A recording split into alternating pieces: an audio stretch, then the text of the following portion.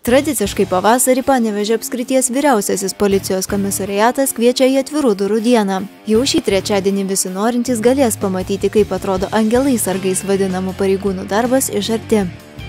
Kviečiame vyresniųjų klasių moksleivius susipažinti su policijos pareigūno profesija. Pas mus svečiuosis pareigūnus rengiančių įstaigų atstovai, kursantai, studentai, su savo darbo specifika supažinins kriminalistai. Renginio metu bus galima pamatyti naujausią policijos naudojamą įrangą bei saugomą video medžiagą iš pareigūnų darbo kasdienybės. Kai ką netgi bus galima išmėginti. Taip pat pamatysite policijos ginkluotę, kinologų ir tarnybinio šuns pasirodymą, iš arčiau galėsite susipažinti ir su juodąją našle, kurios bijo visi greičio mėgėjai. Pamatysit vaizdo medžiagą iš ypatingų aro operacijų, bei galėsit pasimatuoti antiriaušinę uniformą ir išbandyti, kaip jie atlaiko smūgius. Žadama, kad itin įdomi programa parengta moksleiviams, tačiau dalyvauti gali visi, kuriuo žavi policijos pareigūno profesija. Tikimasi, kad po šio renginio jaunuolių svajonė tapti pareigūnu tik dar labiau išauks.